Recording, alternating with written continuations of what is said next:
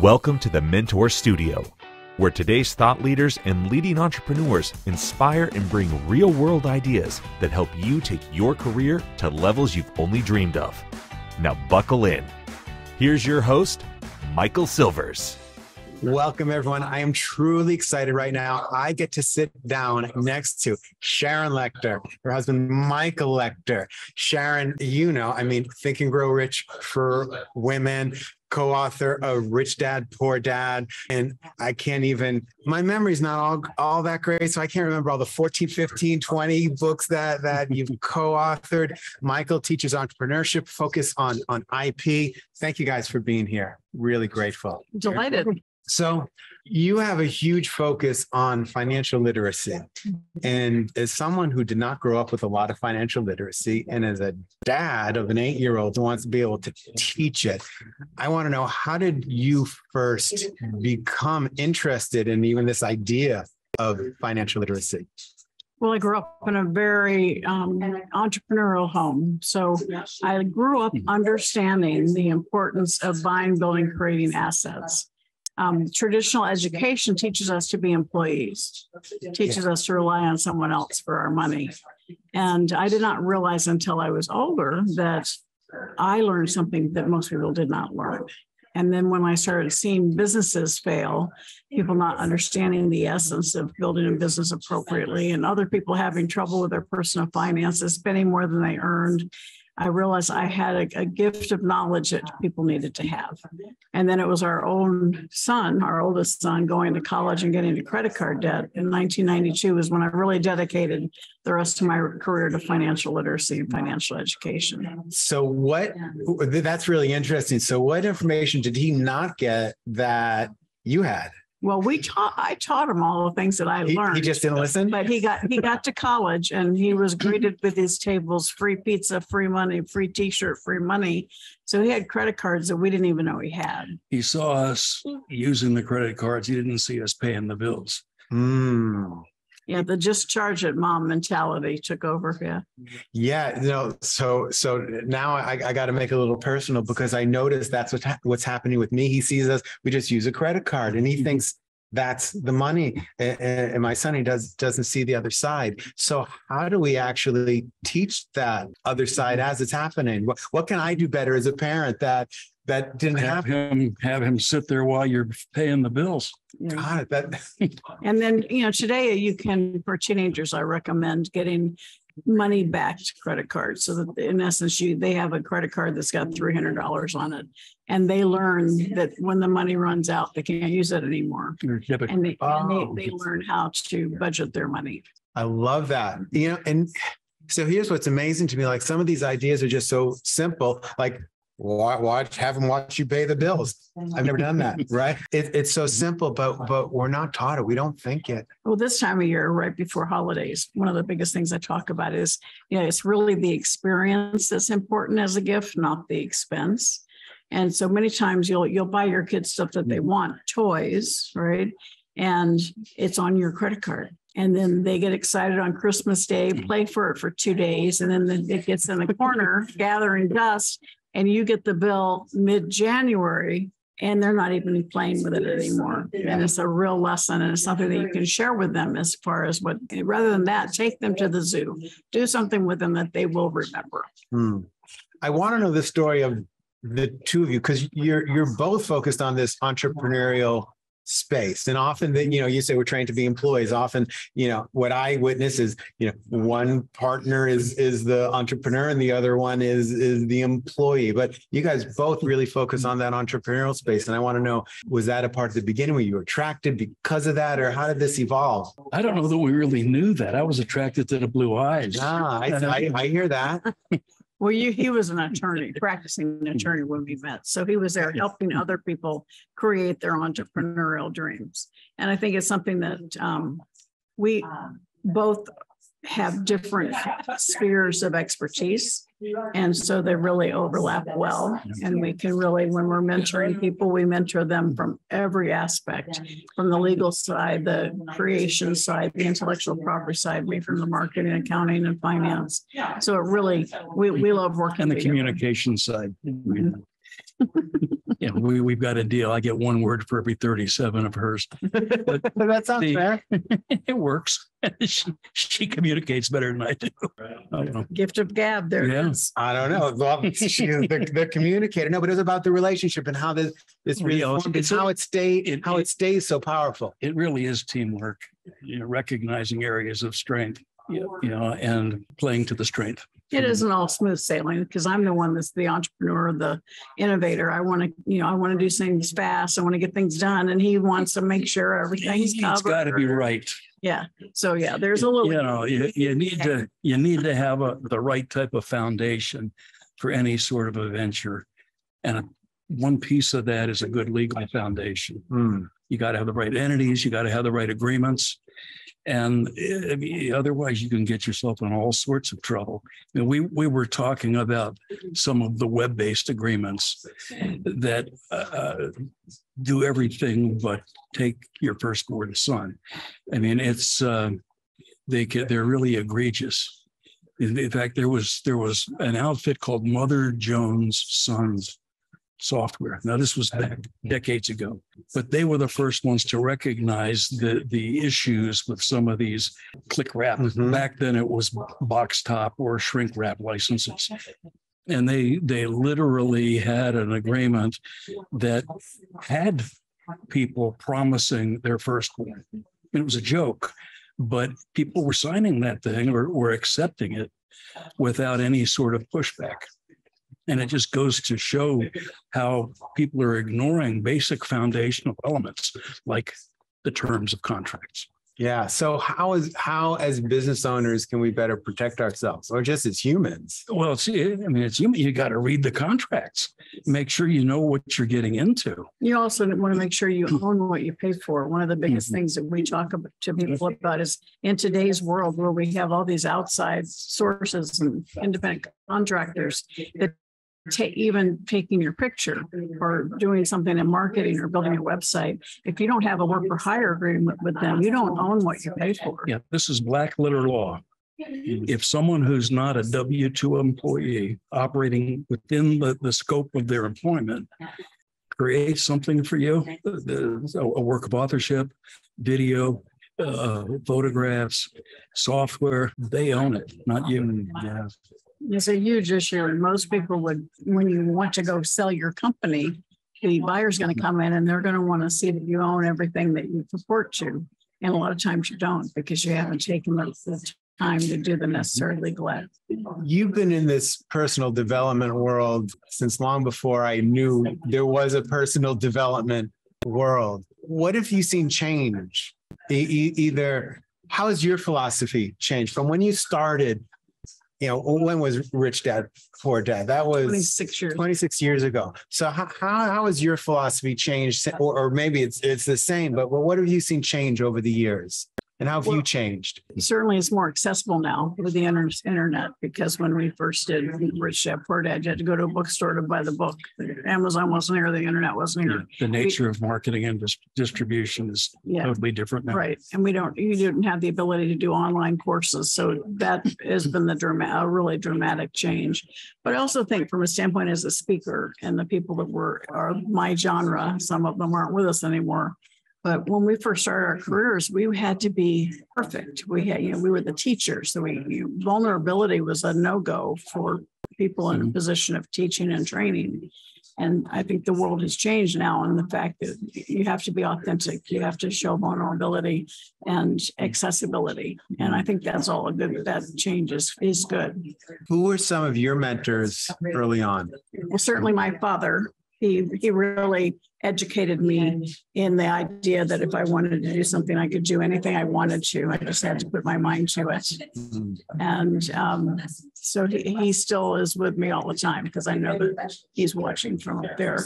But I think also you, know, you can have mentors that aren't here anymore because of the body of work that they left. So Napoleon Hill, of course, Dale Carnegie, the, you know, the really greats that had incredible wisdom that's as valid today as it was when they wrote it. And I, I want, I haven't, I have a fault to that, but I want to hear, what about you? What were some of the mentors that were important in your life? And most of my mentors were lawyers that, you know, that I worked with. You know, the, uh, I can't say I was all that well read in personal development. Yeah, I draw. And we taught each I other a lot of to stuff, but yeah. What is it about Napoleon Hill's work that makes it as relevant now as it was then? Well, I think he was a man before his time, and which is why he had such difficulties at times. He was a forward thinker. He had always these predictions. I mean, 120 years ago, he predicted that we'd pay for gas at the pump, which was ludicrous at the time, right? And so there's lots he had. There's a, like 100 predictions he had, and almost all of them came true. And I think he just he he was a man of vision. Didn't always apply it for himself, but what he wrote was is timeless and is as valid today as it was when he originally released Think and Grow Rich in 1937. So that's really interesting that, that you say that, you know, about having this, this wisdom, these visions that he didn't apply to himself. And I, I see that in a lot of people. I, they, they have these amazing stories, but then it doesn't reflect back onto them and what they're doing. Why do you think that is? What, what do you see? Well, that's why he wrote the manuscript Outwitting the Devil, because he says, here I have created Think and Grow Rich, this the- thesis, this term paper for success, and people will read it but not do it for themselves. And and that's because they are held back with fear, uh, the lack of self-confidence, but primarily fear, and fear paralyzes you. And so he sat down and wrote out Outwitting the Devil, and that was locked away for 73 years. But I had the honor to bring it out. And it talks about how you can turn that fear into fuel, into energy to succeed, but that you have to be aware of where it came from. And it could have been from your early childhood, it could have been from your education, it could be from your parents, all those things. And when you can identify where the fear came from, you can start peeling it away, Hmm. learning from your adversities, learning from your past, controlling your environment, controlling how you spend your time. And so that those those things that were outlined and outwitting the devil has changed made the world a whole different place for people reading it. You've shared about your son and left us much too early. How do, how do those things change you? Wow. Well, you're you never get over it. You're not supposed to outlive your children. Um, it when this it will be 10 years Tomorrow. 10 years, tomorrow, wow. Wednesday morning. I guess it was late the Tuesday, the 13th, early the 14th. We got the phone call and we were here in Vegas at the time. So this is kind of like us coming back to just mm. remember him. And it was 10 years and you don't, you don't ever get over it. And I tell, I share people that it, it threw me into what I called a world of neutral, living, you know, in, in a state of numbness for a long time. And I thought about retiring. I got a lot of pushback from family and friends. And I think I even heard him in my ear saying, Get over it, mom, there's more for you to do. Hmm. And I think that that's the message I share with people today. We all have things that stop us in our tracks. And it could be a death, like in my situation, or an illness, a divorce, a financial setback, a bankruptcy. But you've made it. You're still here, you're still here for a reason. And if you can share how you survived, you can help other people going through the same thing. Well, it really tests a relationship.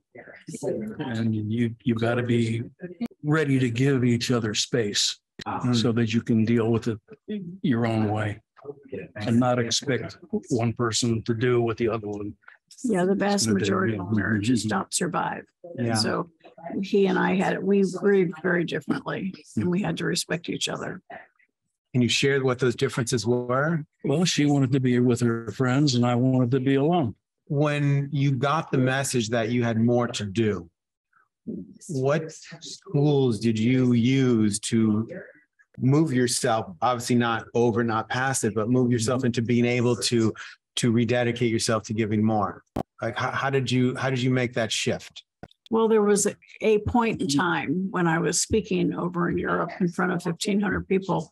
And I had done my keynote and then they were coming to ask me some Q and A sessions.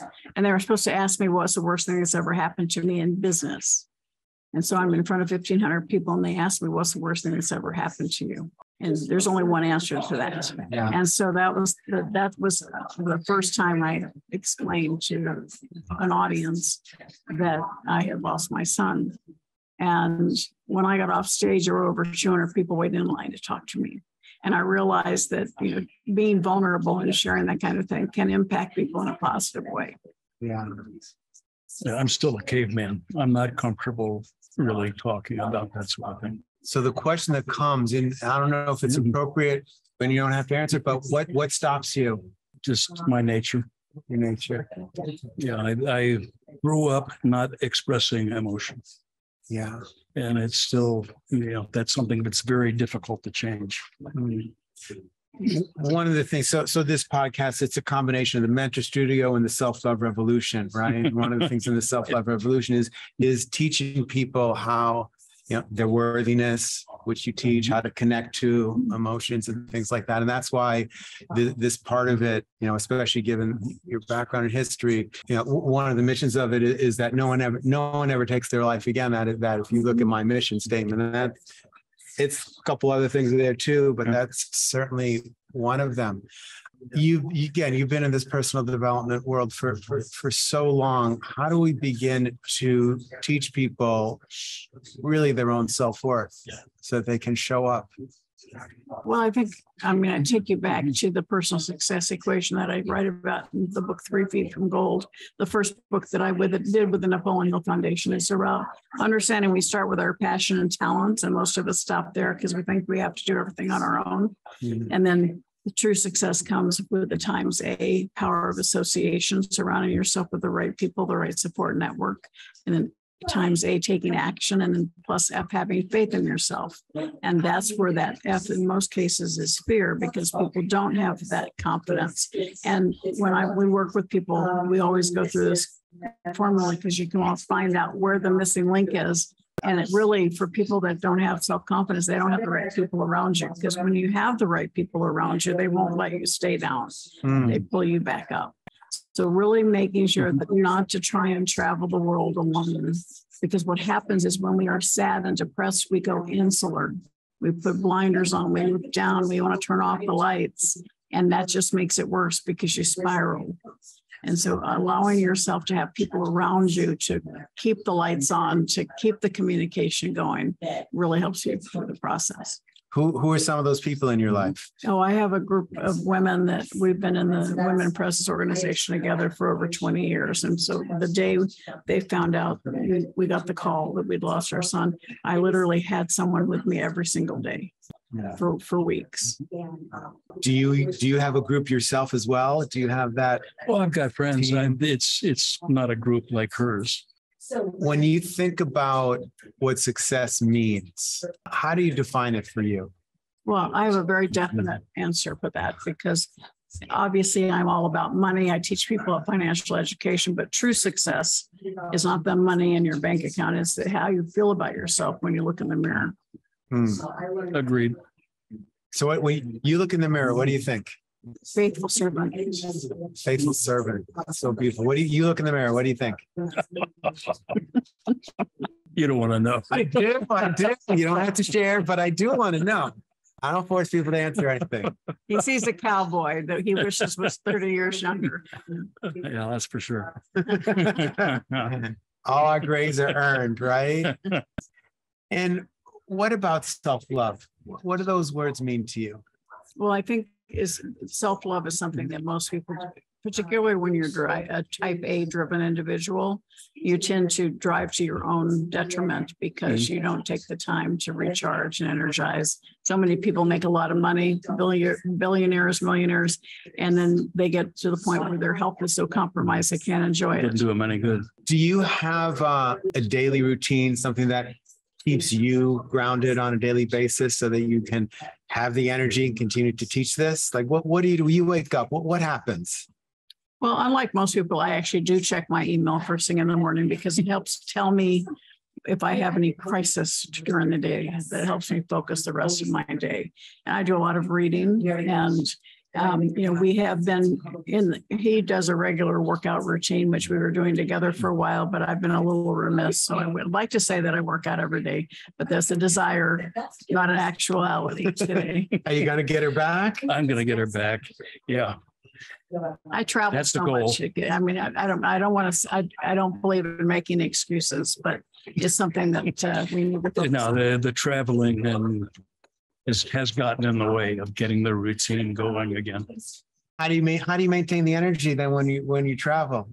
It's just a gift from God, I think. Oh, wow. You just make yourself open to what am I supposed to do today? And the energy shows up. For someone who is going through some sort of difficult time, but they know that there's more for them to do to show up in the world, but they don't know how to turn it around. Wh- What's one thing you would you would say? Start here. Don't stay alone. Find somebody who has has something experienced something similar that can help you see that there's there's more, you know, become that light at the end of the tunnel. Don't wait for someone else to bring you the light. Just stand in your own power and become your own beacon of light and know that you don't have to do it alone. That's her answer. What's yours? Introspection. Introspection. How- You've got to come, you've got to come to grips. And And how do you do it? Do you have a meditation practice or just sitting with yourself or what is, what is it really? it's a combination of meditation and distraction. And our ranch is a perfect place for people to have that happen because when you go there, it's so beautiful. It's in the middle of the Tonto National Forest, and you realize that you're just a speck. Your, your problems are tiny compared to the beauty of the God, of God's world.